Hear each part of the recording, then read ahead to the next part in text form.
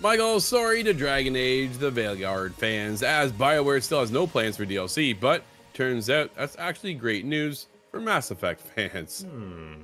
and Kunk over at VG247. Sorry to dash the hopes of you hoping for more from Dragon Age the Veilguard, but nope, BioWare still doesn't have any plans for DLC. The latest RPG, Dragon Age Inquisition, is up is coming up on its 10th anniversary this month, but when it launched a decade ago, it wasn't technically a complete experience. Some DLC later came out that was pretty essential for experiencing the game's entire story. A point that the Veilguard director, uh, Corinne Busche, was very aware of when developing the sequel, leading to the decision to make the new RPG a complete out of the box package. Busche, at the time of that comment, did not or did note that you should never say never when it comes to DLC for the Veilguard, and in the recent interview with Rolling Stone, creative director John Epler reiterated that there are currently no plans for downloadable expansions.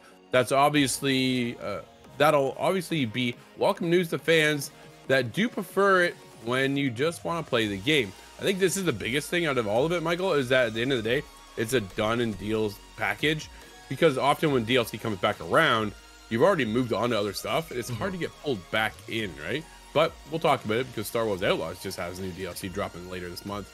We've seen a lot of DLC over the times, but even when you take a look at Spider-Man's reboot in 2018, that got a ton of DLC. Dude, I never played half of it. Like it's just one of those things, right? But either way, it really comes down to now that the team has moved forward, moved on to Mass Effect 5. That's Ooh. the biggest hmm. thing, right? That's the hook. We haven't really heard all that much about Mass Effect 5 just yet. There's only been a few teasers here and there, and with BioWare only now putting its full attention on the sequel, it's probably still a while away. I can't believe how far this game is going to be away still. It is N7 Day next week on November 7th. So this week it is almost here, buddy, at the end of the day, right? We're only a couple days away. So we'll be on Mass Effect Day. And then from there, team is now packed up. It's taken them 10 years to get Veilguard, the Veil, the Veilguard. They just cut the, right out of it. Should have been Veilguard. Either way once they've wrapped this up now after 10 years, they're probably going, whew, man, we're done. They're not completely done because they're still doing tweaks, updates, patches, like they're constantly oh, always oh, yeah. doing. Right? But at the end of the day, it is a complete package, no DLC, and for me, man, I'm okay with that. I like to get in, play my game, move on. Pull me back to DLC sometimes just doesn't happen, and you lose half the player base that's already been on the game from day one.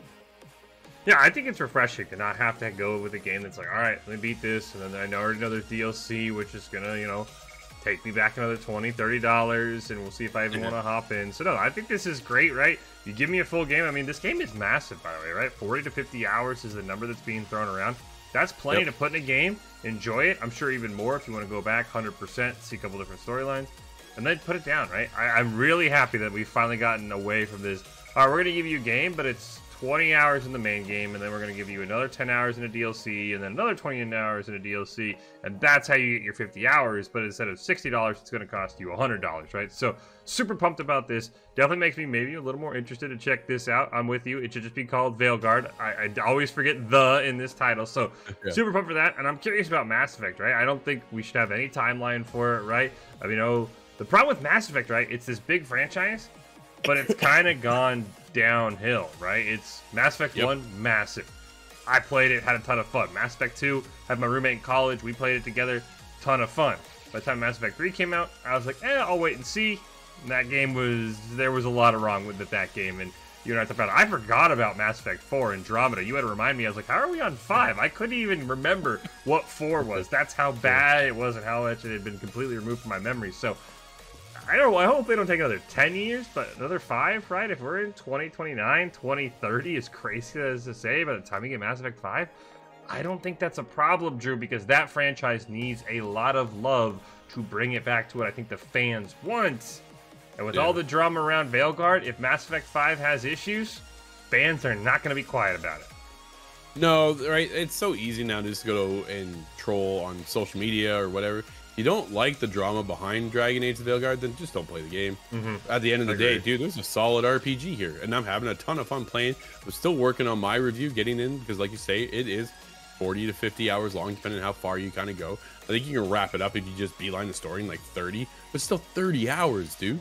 30 hours. Like there's a lot of game here. So I'm looking to make sure I get all the intricacies that I need to know about before I have my final opinion on it. But it is one of those things, it's not a short game, which then leads us into so many years of development now. Once they're done with this, just to get away from no DLC and move on to Mass Effect and really bring that back to a starting level where everybody falls in love with Mass Effect once again. One didn't hit with me at all. It was really two that did take off and kind of fix everything that I was I was having issues with with one. And there is a kind of divisive kind of mantra behind one. But yeah, Mass Effect 5 really needs to hit and needs to hit hard.